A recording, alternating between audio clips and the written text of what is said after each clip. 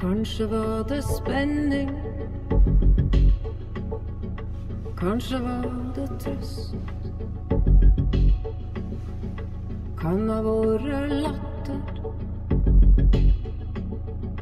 Kanskje bare lyst. Kan ha vært vinter.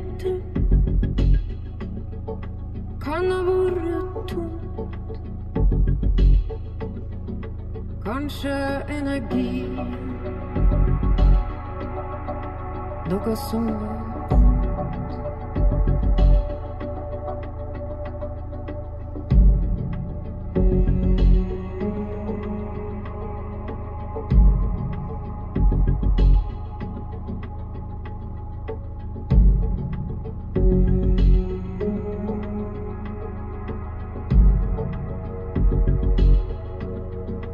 Kan ha vært hennes.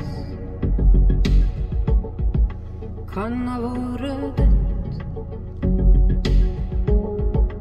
Kanskje var det vårt. Ikke like fett.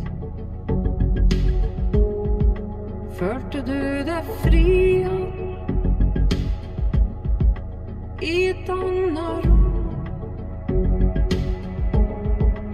Eller både det spillet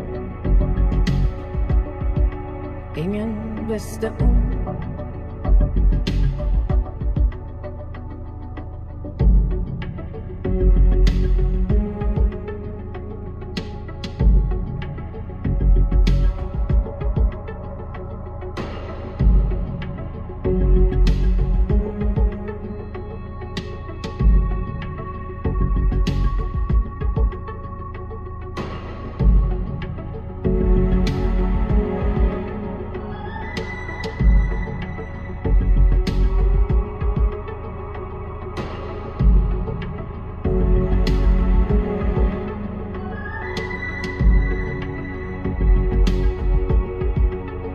Kanskje ble det større